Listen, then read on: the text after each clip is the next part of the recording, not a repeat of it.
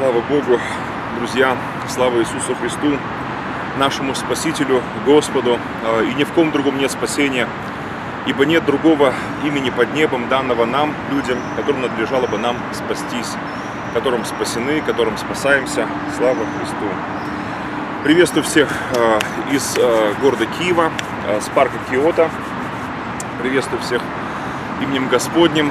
Сегодня 24 июля, и я собираюсь проводить семинар с 15.00. Сегодня на утренней молитве, нет, сразу после утренней молитвы как раз я это и объявил в социальных сетях, опубликовал да, информацию. Вот, и в блоге своем также опубликовал информацию. 24 июля. Сейчас я возьму здесь свои гаджеты. Вот. Э, э, э, почему сегодня решил этот семинар проводить? Дело в том, что сегодня 24 июля по новому стилю, да, гражданскому календарю.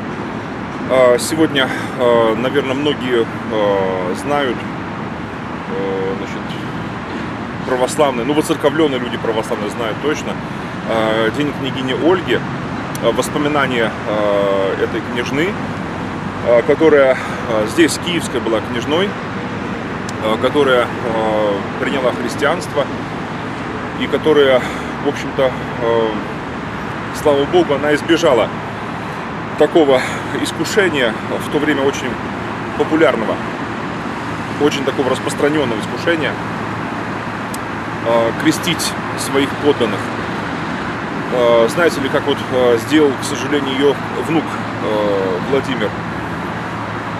Вот, к сожалению, вот он пошел в этом плане не в бабушку совершенно, абсолютно не в бабушку. И жаль, конечно, потому что Ольга была, в отличие от своего внука, действительно ну, другим человеком, верующей женщиной по всей вероятности, действительно она пережила то, что Библия называет э, вот рождением новым, рождением свыше, рождением от Бога, духовным таким перерождением, потому что, э, знаете ли, ее дальнейшая жизнь, э, она об этом свидетельствует. И, конечно, самое главное свидетельство для сильных века сего, как бы, да, для богатой влиятельной женщины, которая была, по сути, держала вот Русь киевскую, Э, в общем-то, да, э, достаточно вспомнить она, как она э, до того расправлялась там, значит, со своими там оппонентами. Ну, в общем-то, женщина довольно властная, такая правительница такая, правительница именно, княжна, самодержавная правительница, будем так говорить. Вот, и у нее были все рычаги власти э, и все возможности. И она могла бы даже, кстати, меньшей кровью, чем Владимир, э, крестить Русь. А, потому что ну, она была очень такая авторитарная женщина. Но знаете, а, Ольга, слава богу, княгиня, она не пошла на это. Она не пошла на, а, значит, на подобное, на что шли в ее время. Ну, так или иначе, ну, да все, наверное, князья, княгини, цари, царицы того периода времени – а, искушение очень сильное, конечно, потому что сама приняла христианство, допустим, и могла крестить. Но слава Богу, что она уразумела то, что доброходно дающего любит Господь. То, что в вопросах веры не может быть принуждения, насилия. Но это не понимал абсолютно, к сожалению, князь Владимир.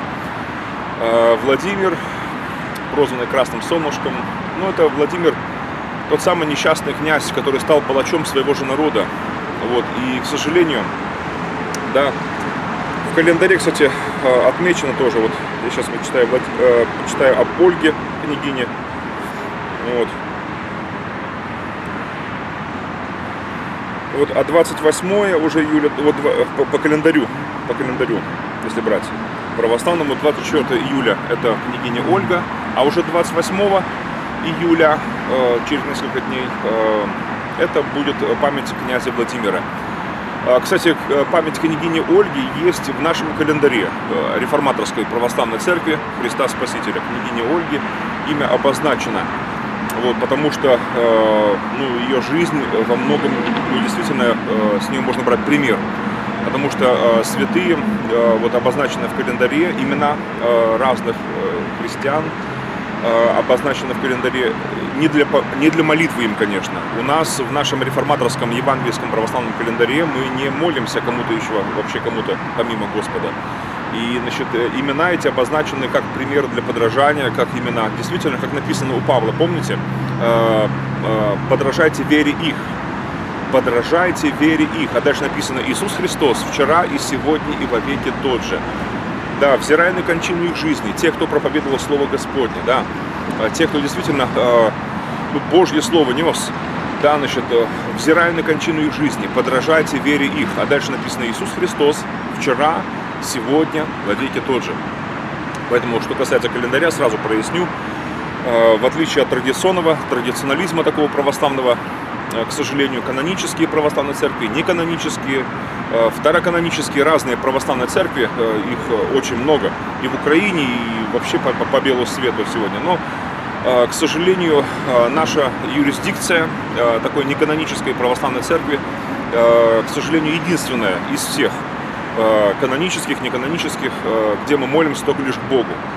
А, то есть не молимся ни ангелам, кстати, там опять-таки будет на днях тоже память ангелов в календаре православном Гавриила, Архангела и собора его. Но опять-таки, знаете, не умершим святым, никому.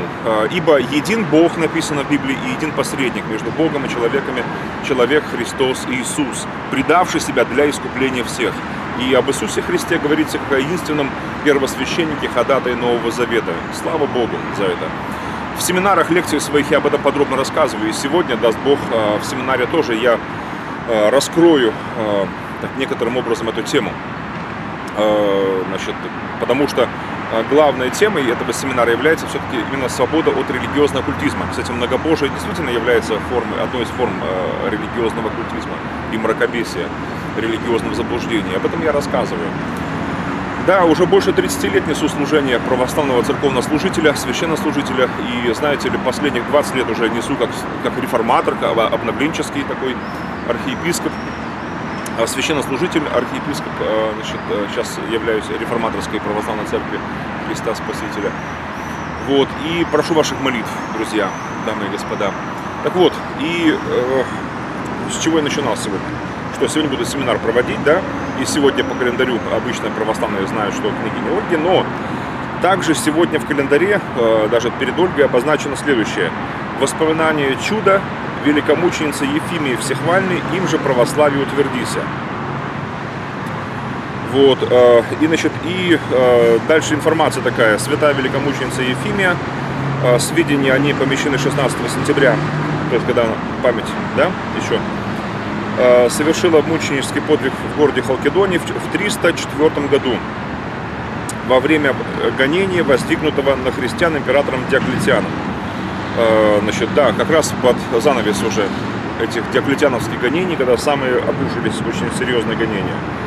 Да, казалось бы, значит, ну, да, мученица, мученица в сентябре у нее вот, как бы э, память ее хорошо все, но это э, пример для подражания. Девушка была а, верующая, девушка была верующая, девушка была, э, держалась сестра наша за Господа Иисуса Христа, вот, э, ревностно служила ему и за веру во Христа была при Диоклетиане репрессирована, да, была казнена. Казалось бы, все хорошо, но вот нет. В 451 году в городе Халкидоне, в церкви, где почитали Э, почивали, простите, прославленные чудесами мощи святой великомученицы Ефимии. Короче, дальше уже идет религиозное мракобесие. А, вот об этом я как раз и собираюсь тоже говорить. Дело в том, что э, гроб э, с телом этой великомученицы, этой девушки, нашей сестры за Христа замученной, его открыли, значит, тело было будем так говорить, нетленно окоченевшая, да, значит, э, в условиях там этой халкидонской пустыни, засохшая такая была. Э, значит, и э, ей положили в гроб значит, рукописание о доктринах, будем так говорить, о которых спорили, кстати, на том Халкидонском соборе, разбирали. Ну, как раз время такое было неспокойное. Монашество взяло власть в свои руки на Третьем Вселенском соборе за 20 лет до того Вот, и начались эти монофизитства, монофилиства и прочая, прочая ерунда. В общем-то, знаете, э, вот, э, вот эти рукописания э, с вероопределениями, вероучениями были положены в гроб этой великомученицы. Потом гроб был закрыт, молились, Боже помилуй, люди, называя себя христианами, молились не Господу, молились этой мученице, этой девушке. Причем здесь Ефимия, причем здесь молитесь Богу, и причем здесь гроб. Зачем эти манипуляции с останками человеческими делать? Но, э, друзья, собственно, этот собор, он э, э, открыл ящик Пандоры.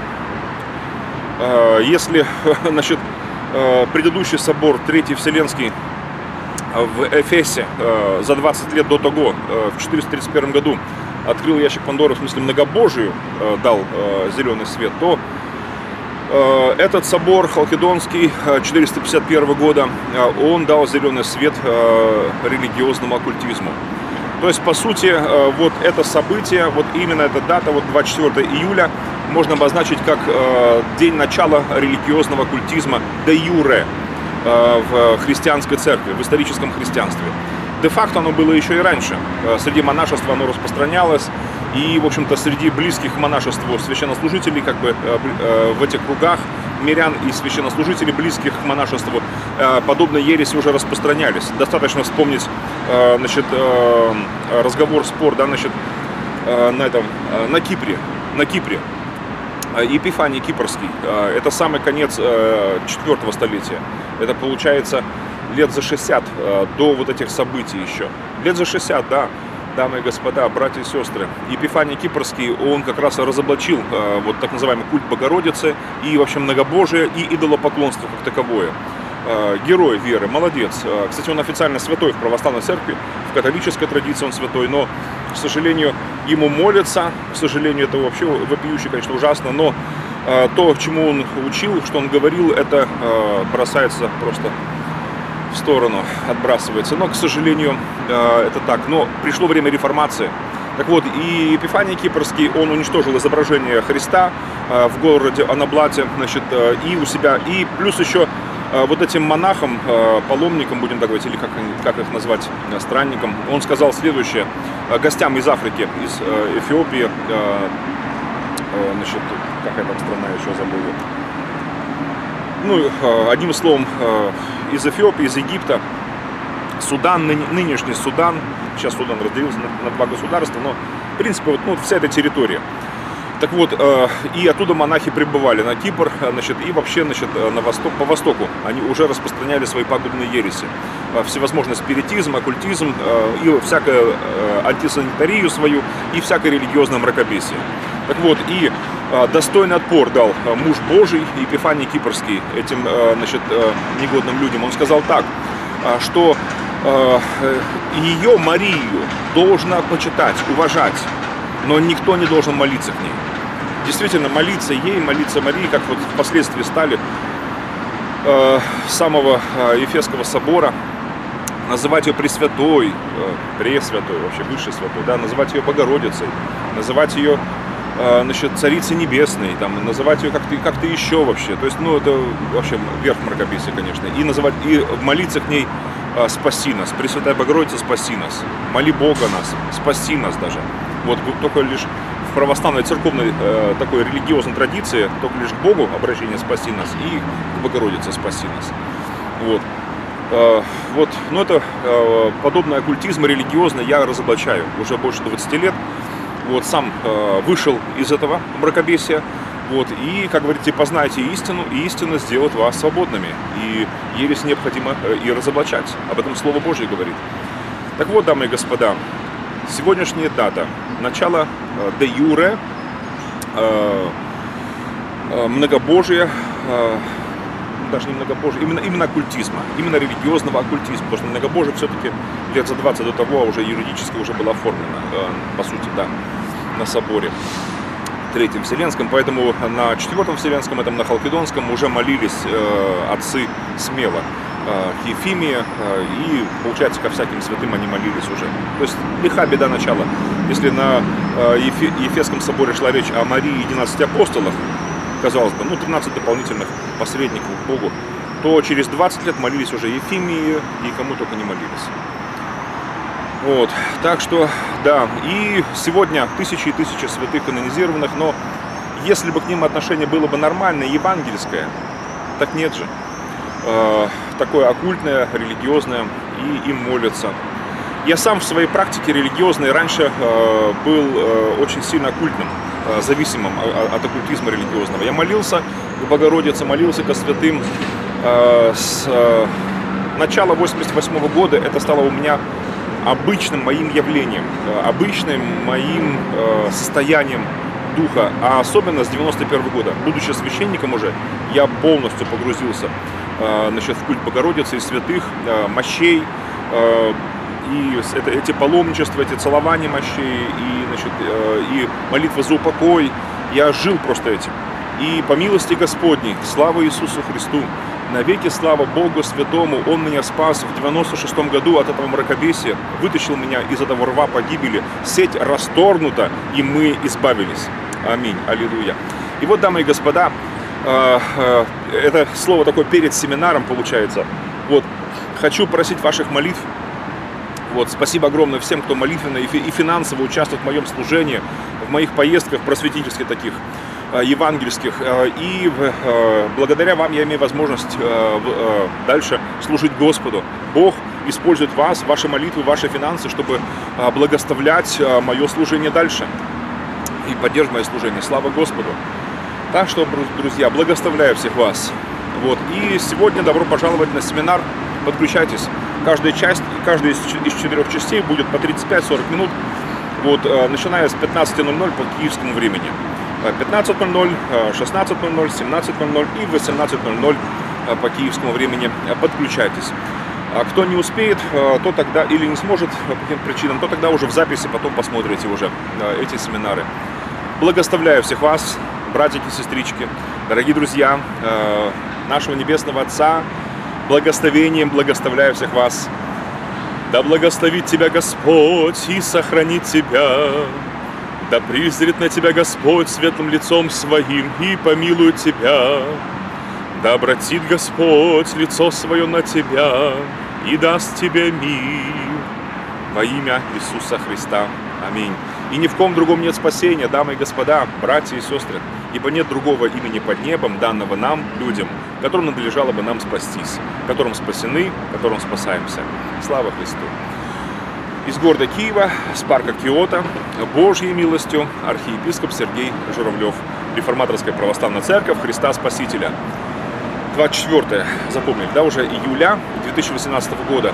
И молитва э, именно в духовном плане, чтобы именно вот э, с этой даты, когда э, вот это многобожие, это и уже в такой форме, извращенной форме э, религиозного культизма. Именно религиозный культизм начался уже до юры в церкви. Пусть и с сегодняшнего дня, пусть э, с этой даты, э, с этого семинара, пусть всякий религиозный культизм падет во имя Иисуса Христа в сознание миллионов и миллионов людей. Э, ведь э, действительно миллионы миллионы христиан, обманутые многовековой религиозной ложной пропагандой, по-прежнему находятся в этой кабале. Даже далеко ходить не надо. Здесь же, в Киеве, пожалуйста, Печерская лавра. В каждом храме фактически мощи. Религиозный оккультизм просто на высшем уровне. Знаете ли, некоторые говорят, вот там в Африке, вот там бесы, так бесы. Ой, здесь те же самые бесы, и хрен редкий не слаще. И общение с бесами, хоть в Африке, хоть в Украине, приносит такие же горькие плоды. Но наше общение должно быть с Духом Святым, и оно и есть с Божьим Святым Духом.